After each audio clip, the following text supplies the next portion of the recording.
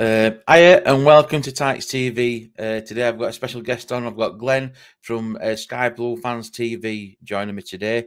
So, Glenn, it's happy to have you on, mate. Appreciate it. No, we're glad to come and uh, speak to you about tomorrow's game.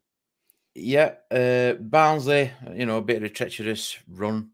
Uh, I think it's fair to say at minute. Uh, going against the Coventry side, what you know, we haven't won beer for like 90 odd years, I think, in, in league. So it's not a great track record to start with as it stands. But uh, Coventry season up to now, um, have, have, you been impressed with it, Glenn? Um, I think you're about mid table at minute, aren't you? Yeah, um, we started like a house on fire. Ironically enough, you beat us mm. second game of the season. We played really well. Uh, and then it kind of kick-started our our run. We went on a good run after that, and a lot of fans were obviously disappointed that we we dropped points to you. But actually, mm. it didn't look a bad start because obviously you guys, I think you drew at Cardiff, and yeah. obviously you'd done well the season before. So, um, yeah, it's it was a typical Cov game. We have a habit of having loads of chances and missing them, and then we give the team one or two chances and they take them. And it's kind of been the story the last couple of weeks that we've thrown away points and kind of just had opportunities and not really taken them. Mm-hmm. Classic example was Tuesday night against Cardiff. I think Cardiff had four chances and scored two absolute screamers. We had three or four chances and the keepers made one save of note in the game. So yeah, we, have Mark Robins. Obviously, you guys had him quite going back a yeah. while ago. Um, he's a good manager. I think he frustrates the fan base a little bit. Um, I think he's very set in his ways um, um, on it, but you can't knock his not what he's done. It's mm. just once you go top of the league, like last season, you guys had the experience of the playoffs. You raised you raised the bar. Yeah. Unfortunately, really clubs like Coventry and, and Barnes without substantial investment, the only way really is is down after you've probably mm. hit the max you can achieve. So yeah, yeah it's um I think it's going to be. I just hate it for it to be an if only season, and I think that's going to be mm. the way it's going to go, unfortunately. But we've got hope. You guys were quite a bit, still a bit off the playoffs last season, and you went on a storming run. Mm. So there's there's hope, but really we we need to win on Saturday and probably win the next two games after that to have any sniff of it. Yeah, I mean, like you just said, there going back to, I mean, going back seems ages ago. Like now, I done it back in August when we, we, you know you came to Oakwell. And to be fair, a fair few fans were saying that we were lucky to come away with three points. It could have been a draw because uh, we felt that Coventry were starting to come into it. And like you just touched on here with Mark Robins, we know about Mark Robins because what he did at Barnsley and what he achieved. And when you haven't got a massive transfer budget to work with, he did well with the players what he got to uh, work with them and bring the best out in them. Uh, very what what I found in my experience with Mark Robins is very very opinionated. He was very like he said he was he knew what he wanted to do and he wasn't really going to deviate from it no matter what. So a bit of a split choice here as well, um, back in Barnsley. But then again, when you look and see what he's done, I mean, going back to like uh, your ground uh, issues and that, just you know, he like stayed all the way through there, and I'm thinking is he going to go? Is he, is he still going to stay at Coventry? And if, for a bit of me thinking, oh, he's going to go, he's got, and he won't, he, you know, and I'm glad that you're back in, you know, your, your stadium because I think any other fan, when you're looking at outside in, you, do, you don't want to to happen like that. You know what I mean? It's like such as your buddies when they go into administration and, you know, teams like that, your Derby counties, and you, you look at clubs like that and you always feel for fans uh, like for, such as you you, you all go week in week out, and that's what I appreciate is that the fan base is still loyal and still stays here. So, um, like you said, we, we last season we went on an unbelievable run and we went into playoffs, and you you know you in 12 like 12 months look where we are now kind of thing. Massive massive change for us. We lost his manager lost his captain his ceo went his backroom staff went and it's starting like a rebuild job yet again. Um, and I don't know what, what you all were like in uh, transfer window back in August and then January, but did you did you feel that you recruited well, or do you think there's still room for improvements that you could have recruited better, uh, Glenn? I think we did all right in August. We took a bit of a punt on Bright Enobakhare, and that spectacularly backfired. We kind of put our eggs in that basket that he was going to be the backup for Callum O'Hare, which I think you guys have put mm. Oakwell mm. kicked lumps out of him. I think, I think yeah. the yellow card you got, which, which is not, which is not Barnsley alone. It is pretty much most teams.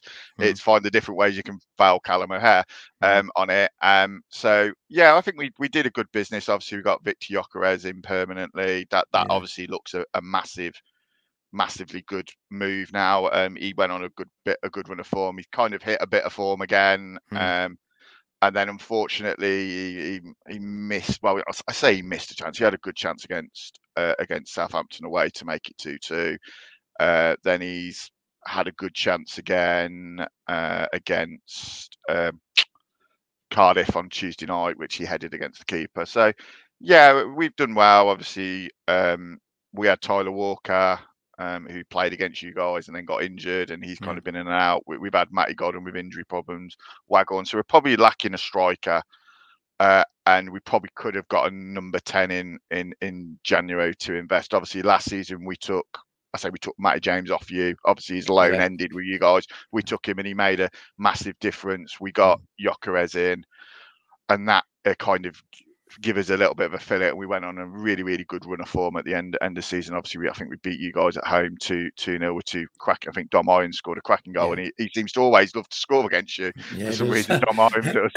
Must I mean, a goal scoring bonus. yeah, he's just he's not prolific um, against you guys. Um, actually, I think Luke Thomas.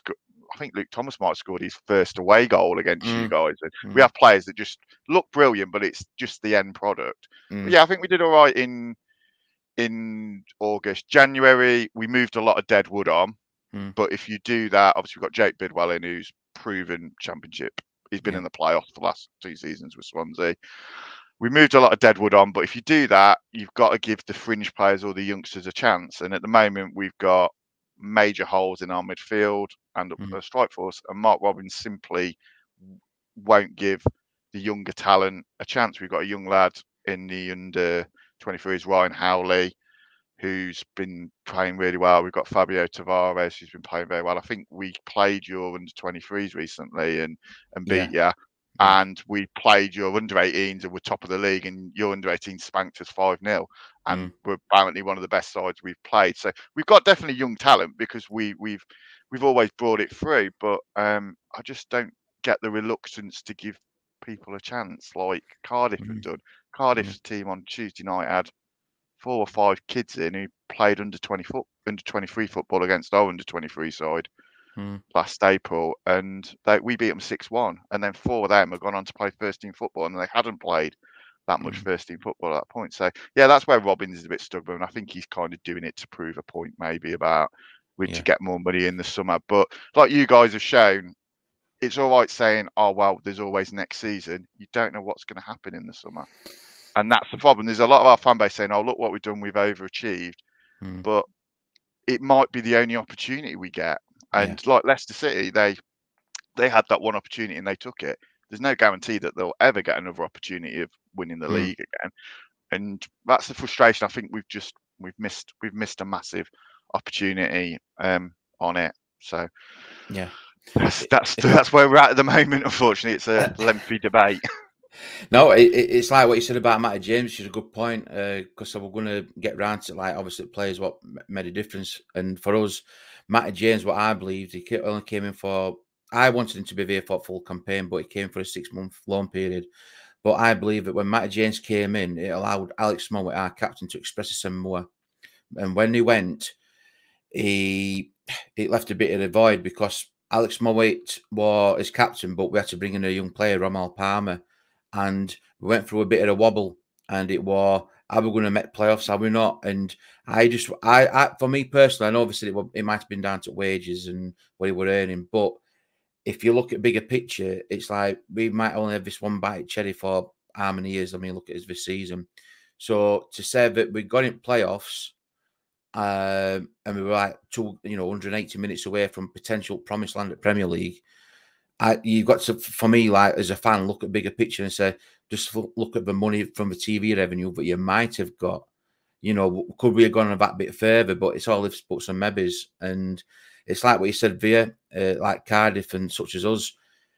We're pretty light in midfield and other departments as well. But we seem to be putting young players in, and that's what I want to do promote you, which I'm all for that. But there's times that I want to see a bit of experience and a bit of not like a, a no-old player as such, but someone who's been in championship who knows the league and knows what it takes to win games. I mean, you know as well as I do, championships more or less getting harder and harder. It's like a Premier League two kind of thing. You know what I mean? It's so many big clubs fighting to get out for, for money.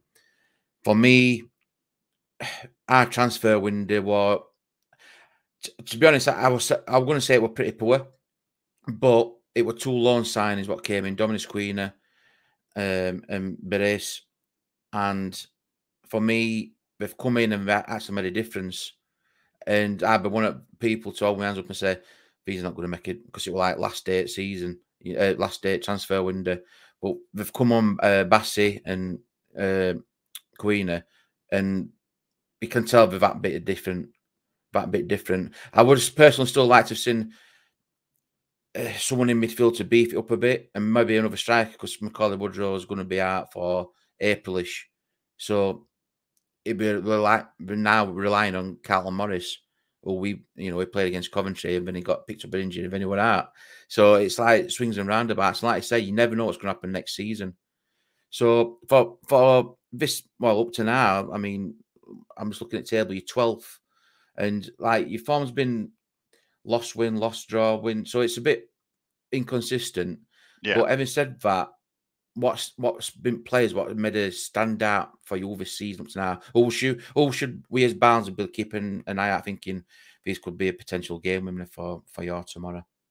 I think the signing of the season has to be Simon Moore for us. Um, mm. Hopefully, he's not busy against you guys, but I think he's been a great signing. Yeah. Uh, to pick him up on a free transfer, the guy is his quality. Oh, I don't transfer. right. Yeah, from Sheffield United. I don't think there's many goalkeepers. I mean, I've seen a few of the other podcasts say about the lad at Bournemouth's brilliant, mm. and I think the guy you've got, Brad Collins. Yeah. Um, I think he's he's the, the numbers he does. He looked really good. Mm. I think the lad at Huddersfield, Nicholls.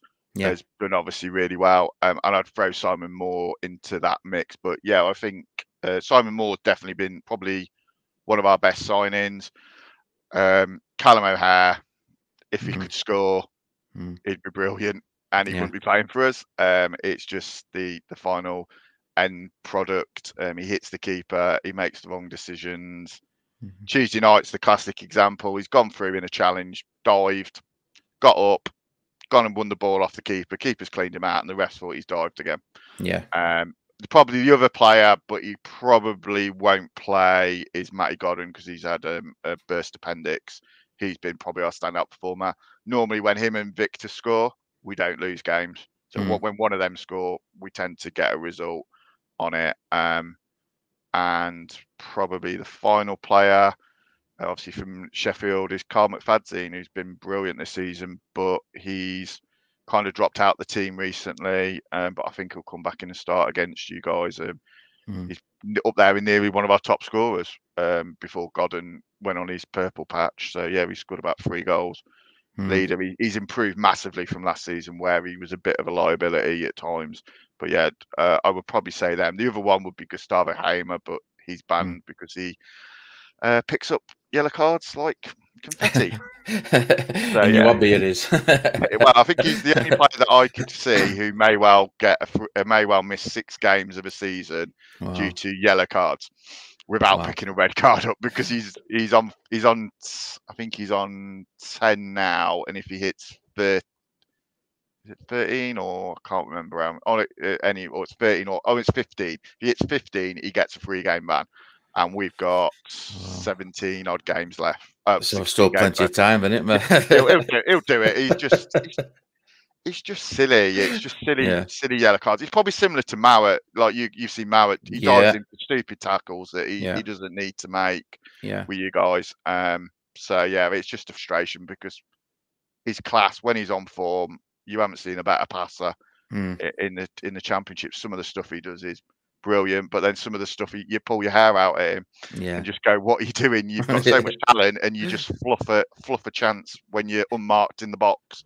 And as a fan, it's so frustrating, isn't it? Yeah, he's he's brilliant. He loved the fan base, love him, but yeah. he's a typical player with South American flair, and you think you've you've got to learn. And I yeah. thought he'd learned his lesson, but hmm. he, he, hasn't. He's got, he got even with the fans being in the ground, he, he almost plays up to it. So yeah, he's, um, he's brilliant. But yeah, I'd say probably those would be the would be the standout.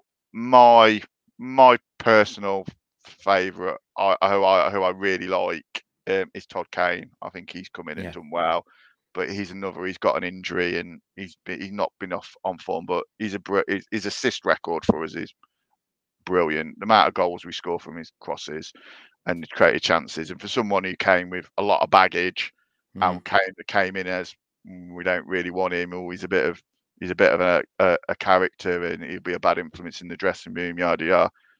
He's totally proved it wrong. He's been brilliant, and I think the only reason his form's tailed off is say he's playing with a, a M- MCL injury, which he shouldn't really be playing for, but we ain't got a fit right mm. back at the club, so he's got to play. But no, he, he's definitely someone who I think could get forward if if he plays on Saturday, because um, I think Dabo's back fit, but I don't want him to rush Dabo back because yeah. he has a habit of breaking down, and he's someone we we who's been a key part of our success, but he's kind of had a dip in form, much like the whole team has. We just we started too well. We haven't got the strength and depth. We tailed off. We've kind of resurged, but we have the ability in us to throw a game in like Tuesday night. And mm. if you wanted to bet on Carv, if there's a team who are on a bad run, you you bet you're good to players will screw up. We nearly threw it threw it away at Reading. That's yeah. the worst we played, and we somehow won three two. And I, and I think it's only because Reading decided to press yeah. the red self destruct button on it. so we did you guys a favour because we kept Reading in Reading in. Yeah, that's it. Yeah, he did us a favour. Yeah, yeah, he did us a favour. We needed a few more actually, so plenty of time to go.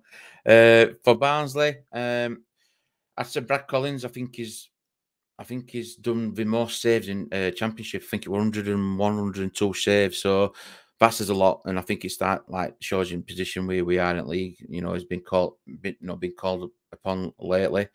I know for the last couple of games he's been questioned because he's made a few rash decisions, but I think because you're always like last man, so to speak, you're always under the spotlight. So I always look at it and think, yeah, but look at how many points he saved of it season, you know. So I think a lot of confidence is drained out its side, and obviously we lost Ismaël. So Shot came in, then Asbaghi came in, and such as like your your Callum Styles, your Brittain, you know, they've like lost. I'm going to say belief, but like lost confidence. They don't seem to be the same players like last season, which is unfortunate because you know I know Callum Styles has been played out at left and he's been brought into midfield. Now Styles seems to be playing behind the, the attack and just in front of midfield to try and link it up, which is kind of sorting. But I think it helped out when uh, Bassi came in and Queen. They made a difference, you know, again, uh, playing back three up front system. And we got his first win, which were like, we party poppers and everything. But it, it's it was great to see, and it was good to see for players as well because you could see, you know, when Cauley Woodrow before he picked up his injury, he was getting frustrated. He were wanting, you know, yeah, captaincy, but we're taking free kicks and corners and penalties and doing everything apart from like cut grass, I think, on pitch. And all I wanted to do is like just go and score a goal. You know, just go out and play a game. But I think with that much pressure on him, his game was suffering. And now he's out injured, which, you know, I know the links going around with him with West Brom at time before he picked up his injury. Whether he'd have gone or not, I don't know in January. But it's going to be like April. But like I said, we Carlton Morris had been out injured against when he picked up injury against Coventry at the beginning of the season, but he'd been out with a few other issues with COVID related things. Now he's coming into it. He's actually been one of his, you know, more vocal players. Uh, even when he were on bench, I think he came back from an injury. He were on bench, and was an injury happened to one of Cardiff players after about ten minutes, and he come up out at dugout off at bench having a not a pop, but were telling Devante call run based on, and I'm thinking you're on bench, but he's still passionate about wanting to yeah. do it, and that's what I want to see. I'm thinking get him on, get him on pitch, like. But uh, Carlton Morris, another good player. Quina, um, he looks decent, uh, nice turn, uh, nice touch at ball. You can tell he's come from a bit better class of uh, setup yeah. as in Watford why he wasn't getting games at Fulham. I think he only played four games at Fulham, where just because he's short standards of Fulham. But he's coming here, played really well. For me, I'd say if he starts, which I'm hoping he does start, I'm, I'm hoping he don't change it much from you know last week when we won. I'm hoping he more or less keeps the same personnel, the same system. I think Carlton Morris will be a bit of a danger if he's if he's allowed to play where he wants to play. Keep it as it is because we've got. I'm going to go into like formation. He's got a tendency to play three at back, five in midfield, and a two and a one, or a. He always likes to play that kind of system. Uh, Jordan Williams, he played at centre back, and to be fair, one of the best games I've ever seen him play. Uh, I know he's a right back, but he's been played at left back but he came in central defence, and I thought, it was one of the most solid performances I've ever seen him in a red shirt. To be fair, and to say, well, you know, his first win, and I, that's what I'm wanting to happen, is to like not alter it just because Kitchen might be back, or you know, Callum Brittain might be back. Is like don't upset it too much. Try and keep them players there so they can build on that confidence and that understanding. And like I said, away at Coventry, we haven't been there for like nine odd year you know, we don't want to be like thinking about too much. I know we've got he's, he's got his first winning league like Poya Asbaghi. I just wanted to like keep it consistent and just like don't alter it too much. Uh, so obviously coming back to Coventry is what what system are you playing? Do you think he'll does he alter it much as in the opposition, or does he more or less stay the same?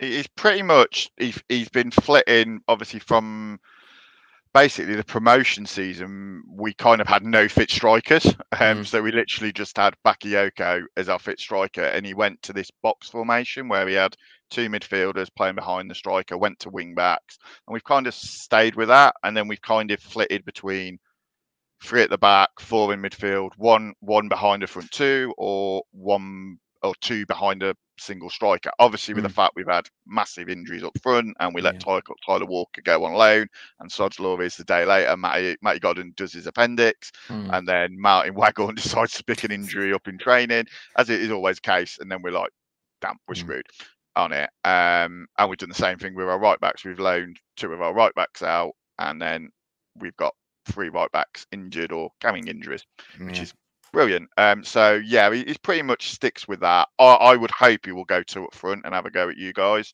Hmm. Um, personally, I, I just want to see a bit more attacking intent. We rotated on Tuesday and it spectacularly didn't work.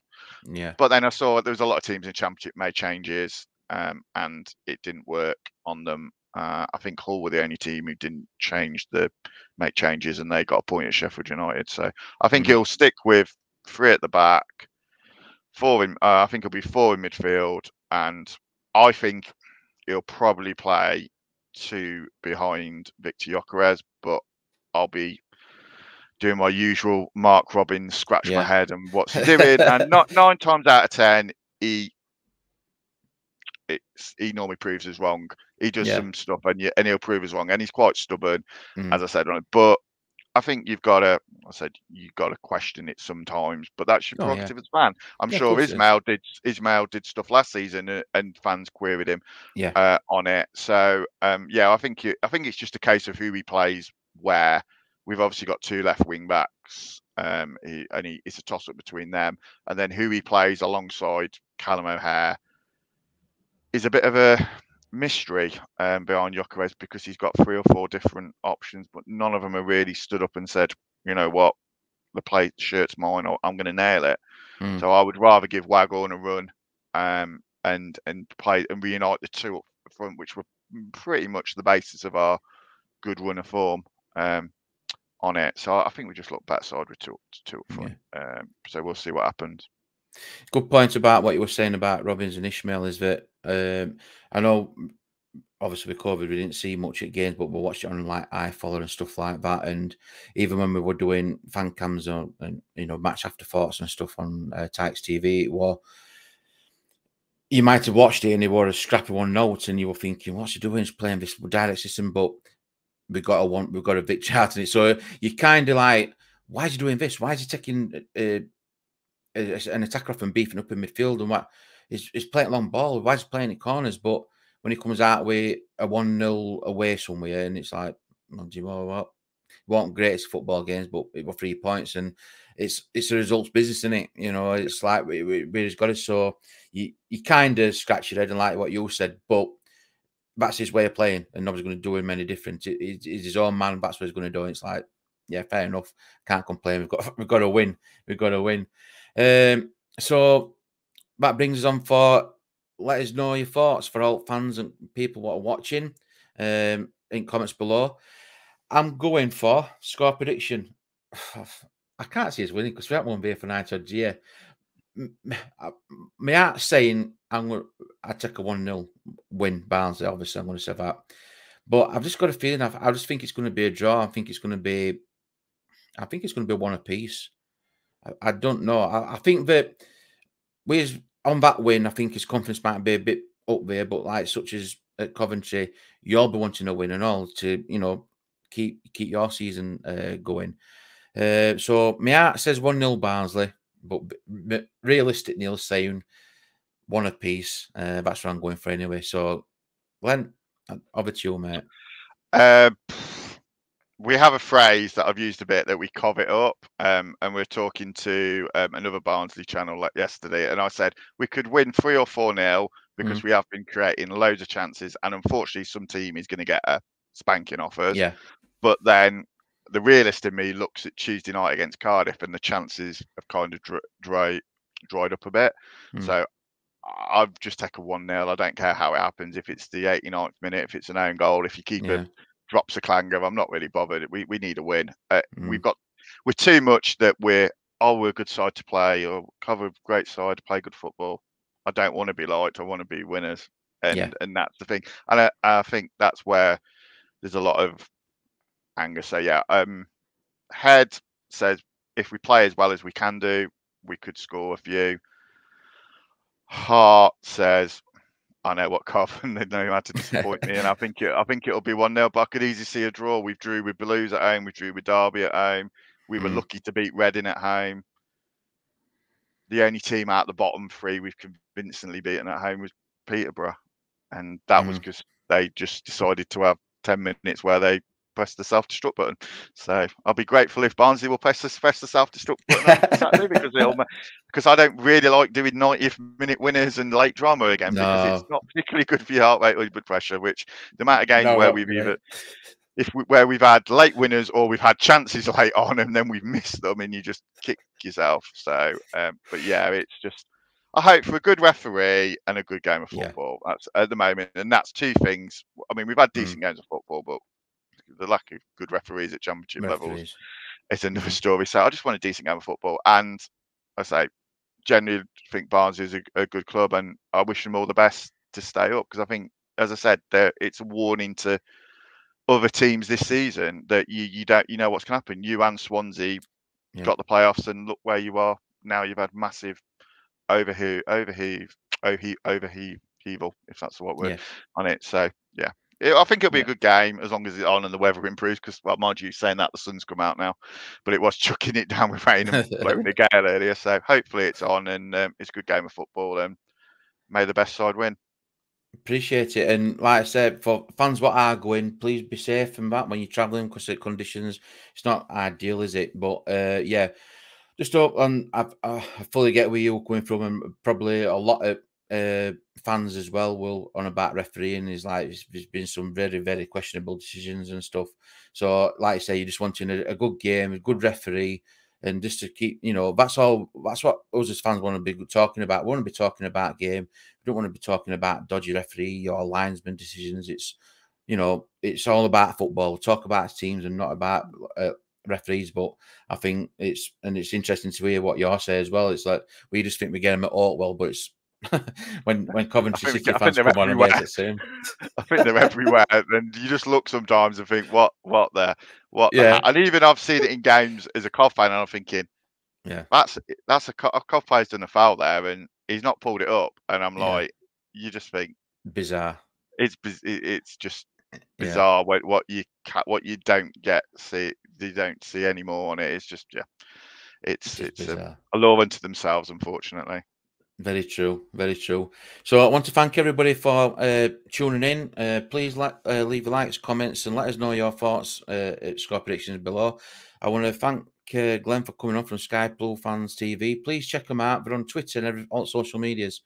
Very, very good, knowledgeable people. They've got podcasts and that as well. I urge you to listen to them. Uh, very good listen. I listened to it myself last night when I was at work, and I'll listen again this morning as well. Uh, great football content and that. So, Glenn, I want to appreciate you for joining me on Tykes TV, mate. No worries, and all the best for the rest of the season after Saturday, of course. Cheers, I appreciate Cheers, it. So, everybody watching, thanks a lot. One thing left to say: you Reds.